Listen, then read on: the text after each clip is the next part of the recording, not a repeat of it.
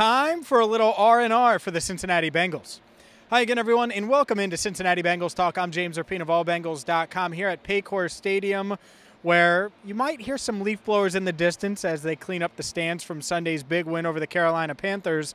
But the Bengals themselves, as in the players, well, they're ready for plenty of R&R on this bye week. Rest and relaxation in my own Michael Scott voice. Maybe you'll get that, maybe you won't. Regardless, the Bengals uh, excited to go into the bye with the five and four record. Certainly happy that they ended things the right way a few days ago here at Paycor Stadium. But let's get to the notes of the day because the Bengals held their final practice right here inside Paycor. Essentially, a walkthrough, a little workout uh, on the field uh, before players leave for a few days, um, really until Monday.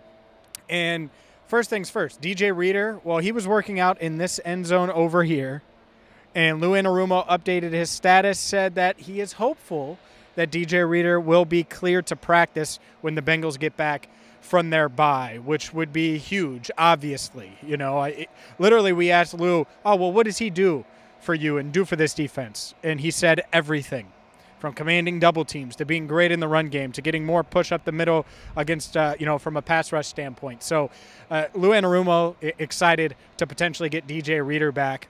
Dax Hill uh, had an MRI on his shoulder. It's not as bad, I think, as they initially thought. He's dealing with, uh, you know, uh, something that I, I, think he's going to be able to play with. And whether it's Pittsburgh, Tennessee, or I think worst case, Kansas City, he's going to be back, avoid injured reserve, and, and certainly be able to play again, not only this season, but maybe again as soon as the Bengals are back on the field again. So we'll see there if, uh, if that's the case. Um, as far as Chris Evans goes, grade two PCL. We're not really sure uh, how long he could be out. Obviously, Trayveon Williams is on the active roster. It's not like they would necessarily make a roster move uh, from that standpoint. So now that the injuries are out of the way, um, and we, we talked about Mike Hilton, at least posted it here. Mike Hilton expected to be back despite dealing with uh, the finger injury, broken in three spots, underwent surgery. He says he's going to play against Pittsburgh. So overall, the Bengals hopefully getting healthier here, get Hilton back would be great. Getting DJ Reader back would be great. You get those two pieces back for the Pittsburgh game would be huge. What about punter? And I think that that is a discussion that we should have right now on Cincinnati Bengals Talk. By the way, hit that subscribe button, ring the bell. Punter, it's been a struggle for Kevin Huber. There's no doubt about it. You know, 38 uh, yards per punt over the past couple of games, had a 23 yard punt against the Browns, which is just over half of his age. And I'm not trying to be mean there. It's just you should be able to punch your age. And Lou Anarumo talked about it, or, or Darrin Simmons, excuse me, talked about it. And one thing he said, and you're about to hear from Darrin Simmons, but one thing he said on Monday was how well Kevin Huber was practicing, but it wasn't translating to games, which to me is a bit odd. Here's Darrin Simmons on Kevin Huber's struggles and the fact that they are reevaluating or at least evaluating the punter spot and whether or not they should turn to Drue Chrisman. Well, I think it's been he's been struggling a little bit. That's that's no secret. I think he'll be the first to tell you that. It's uh, he's got himself he's got himself in a bit of a slump too. That uh, I think he, he made a pretty good analogy. He said he's he's great on the practice range. He's not taken to the first tee, and he's been his practice has been pretty solid. Um, his pregame warmups have been solid. He's just not taken to the game. He's, he's got to figure out how to get that you know from the range over to the first tee and uh, he's just not doing a very good job of that right now. It's a variety of things that have, have figured into his inconsistency, and uh, it's just been a, a, myriad of those issues. And I think as you get older, you know, your margin for error becomes really small. Some of these guys are, that are real strong and real powerful, have young young legs, you know, can get away with some things, can get away with the get off times being a little slower, get away with the drop not being in exactly the right spot. They can adjust, and uh, um, you know his his margin for error with some of that stuff is just it's just reduced, you know, compared to what it used to be. With Drue on the practice squad, is the bye a time to evaluate where things stand? Well, I mean, like I said, we, we've const, I've constantly been evaluating this whole thing. Um, our, our, punting game, obviously, our punting game's got to improve. Um, you know, we're not we're not getting out of it what we need to get out of it in terms of flipping the field.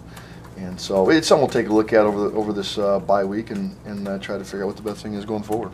Oh, I, you know, I don't know, but that's something we'll, we'll talk about. I'll think about. You know, we've, we've got whatever it is, however many days to figure that out. Um, it, you know, but this is something that's that's uh, certainly been building over some time. You know, for sure. And we got to do something to you know put our team in a good spot to control field position, and we, we've got to be better with that. So, How? Sorry to cut you off. That's right. That's how, how has uh, Drue handled this? Obviously, he wanted to make the team and wanted to be the starting yeah. punter, but how has he handled being on the practice squad?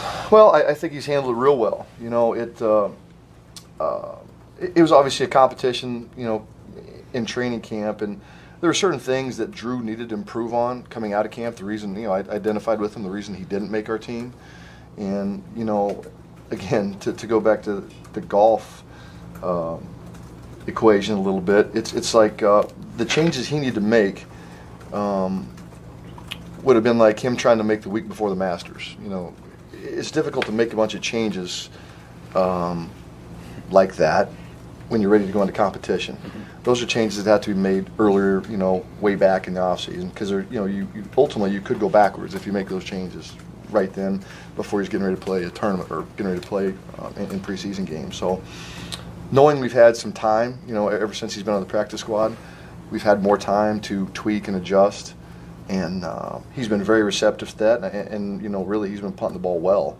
um, in practice. You know, we, we we use a little different kicking schedule with him than we do with Kevin, and so they're not kicking always on exactly the same days. Uh, but but I think he's handled it very well. Um, he's been very open to it, and I think he's done a good job. No video of Darrin Simmons. It was an audio only session, but you get the gist. There is the fact that they are considering something, and they should be. Look, this is a contending team, and their goal is to win a Super Bowl. And so you have to evaluate every option, and it just happens to, to be a guy like Drue Chrisman is on the ro- or is on the practice squad, can easily be promoted to the roster. He's a guy that you've developed and spent a lot of time with. And you heard what Simmons said there about the fact that Chrisman had some things to work on from a punter's perspective, not necessarily a holding perspective and that's why he didn't win the job in camp. Well, he's had nine weeks plus to work on those things. So if one, Huber's underperforming, two, Chrisman's better than he was at the start of the season, maybe you go that route. In the beauty of Chrisman being on the practice squad, you don't have to cut Huber.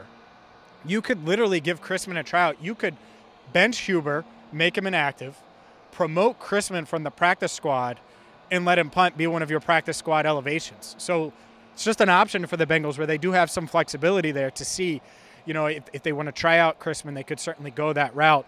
And again, I want to hammer this home because there's a lot of speculation about the holding. It is not a holding issue for Drue Chrisman. He's still holding in practice.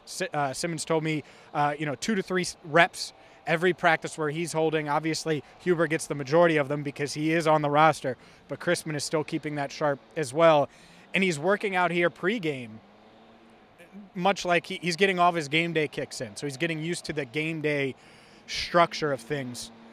I, I think that that's certainly on the table here as the Bengals reevaluate things, self scout, and that's what the Bengals coaches are going to be doing over the next couple of days. And then they'll take a break as well, and they should. Look, the season is a grind. I can't believe we're already in week 10 of the NFL season. Feels like we were just at training camp. So, on one hand, man, it flies by. On the other hand, it's also November, and it has been a grind, and it's it's just it's one of those things. So if it's a grind for Cincinnati Bengals talk, imagine what the actual Bengals, you know, the grind it, has been for them. So certainly uh, good for the coaches to get a break. And look, despite the Bengals being on a break, you know what's not on a break? My bookie, and my bookie is the place you need to go right now to wager on all things NFL college football. It's a big college football slate this weekend, huge with NBA going on. So the sports world is going crazy. And yeah, whether it's Thursday night, whether it's Sunday night, whether it's Monday, whether it's Sunday afternoon, look, I'm going to be red zone all day Sunday. I can't wait. I'm going to have my feet up. And you know what I'm going to be? If you're going to wager, it's got to be my bookie. Use promo code Bengals Talk right now, and you're going to get a 100% double deposit. Boom! So if you deposit 500 bucks, you're going to get another 500 with my bookie, up to $1,000 with promo code Bengals Talk. Make sure you use promo code Bengals Talk and get to my bookie today. Look, this team, good vibes today. Uh, I, I, have a ping pong update for you uh, right now. Mitch Wilcox is number one in the Bengals rankings, followed by Joe Burrow. In their last rankings match, Joe Burrow got second third, and this is what the little birdie told me, I'm not going to say who, Tyler Boyd dethroning Trent Taylor from the top three. That never happens. Trent Taylor is considered the best in the room. Well, right now, he is fourth. That is your top four. Rankings are updated weekly. Obviously, it takes a break because of the bye. But Mitch Wilcox, one. Usually he's number one or two. Joe Burrow making the leap to number two from usually three. Boyd going from four to three. And Trent Taylor bottoming out at number four.